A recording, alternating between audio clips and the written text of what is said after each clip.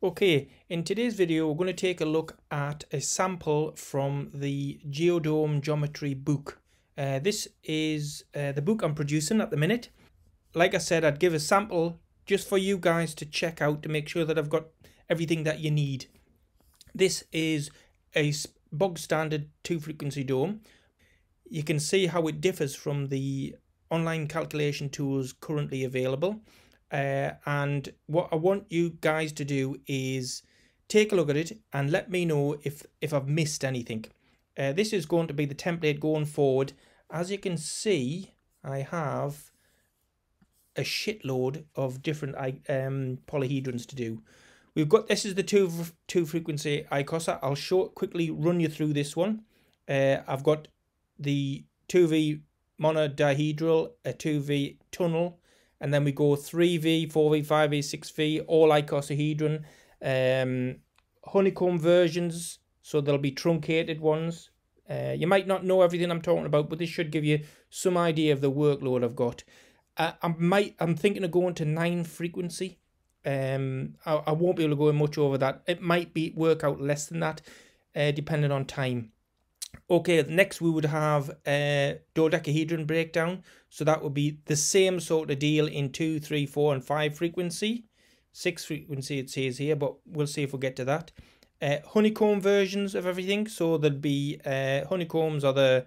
Um, I've done a few honeycombs. We'd also go some other basic ones like uh, tricontrahedron, deltoidal hexacontrahedron, enocontrahedron, they're quite good as well. Uh, a number of zomes a number of um, trapezium domes, the bi-grid method and the tri-grid method. I do have videos on them if you're not sure what that is. Uh, some mixtures um, and the phase shapes. So we'll have all the polyhedron with all these different phase shapes. Um, let me let me show a full size version. I'll have a link to this uh, in the description. So feel free to go download, have a look at this PDF uh, and tell me if I've missed anything. Right, this is the a bog standard 2 frequency dome. Uh, I'll have the polyhedron, so you'll be able to see that, yeah, we'll think, make that a wee bit smaller. You'll be able to see the polyhedron, and I will provide a um, DXF or DWG or whatever you want in that. Let me know what you would prefer in that. So I'll be giving away a free polyhedron with the book, so there'll be a, a, a great chunk of um, polyhedrons that you can download for free. Uh, so this gives you the basic information. We're working with a standard radius of 10,000 millimeters or 10 meters. The reason for this is we need lots of decimal places for accuracy. Uh, it'll give the basic information, number of faces, types of faces, uh, node types, things like that. We'll, we'll put in there. This is not color coded. I think I'll be redoing this in a colored coded version. We've got node angles. Uh, as we said, there's two types of node.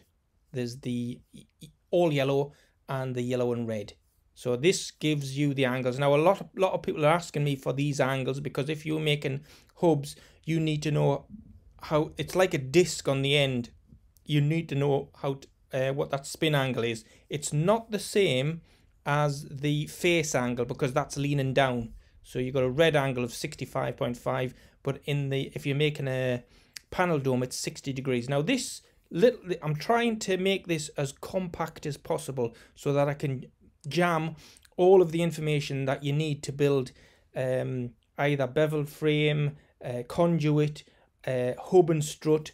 Every all the information should be in this one page. So it gives you the uh, all the angles for your hubs for your the people who want to build hubs, all of the sizes of your um, faces for your beveled angle. It gives you the dihedral angles. This is the dihedral between a red panel and a yellow panel. Let's flick to the top. So a red panel, yellow panel, it gives you that dihedral. And the other one is the yellow-yellow panel. There's only the two types. This is your um, central angles and your axial angles. Right, next important one is ground section. This is what's not in any of the online calculators um, currently. Ground sections, uh, nobody has any information. They tend to do number of panels on a set dome, uh, but not really any anything about the ground elevations because uh, what you end, what we're looking for is These are the four different one. Uh, there's actually six, I think. There's a 50%, which is everybody knows this as a two frequency, pretty standard. There's the 75%, which nobody does. And there's also a 25%, so you can imagine that flipped upside down. It's There's also, this is horizontal ground planes, and this is vertical. So you would, if you cut down that, this, this side is effectively a mirror of that, so they're the same. And this is a 50% dome but it's a it's a vertical cut and not a horizontal one. So you would just flip that over to a dome uh, I've used this before, and this is my GD5 is this layout here with this uh, 76.4 um, and that creates good for little little domes that creates a, a bubble dome so this is the horizontal 75% horizontal I've done um, the domes in percentages rather than fractions because it's common uh, do you do it's five eighths, five ninths in a three frequency? It's quite confusion. Whereas a, a percentage is much more accurate and it's much easier to um to uh, imagine the size. This is seventy five percent of a sphere, so you kind of gives you get a better feel for it than the fractional method. That gives you the heights and the uh, any any geometry that you need to straighten to the ground. Um, looking from above, this gives you your gives you your um, measurements out to the node, out to here, for example. Uh, we know this measurement, and it gives you the actual measurement of the base. So this is actually what a base would be. Okay, let's talk about scaling. Uh, I've do I will do all of the polyhedrons with a 10 meter radius. The reason for this is we want to be scaling down and not scaling up. If you scale up, any um, what would you call rounding errors get bigger and if you scale down all of your rounding errors get less.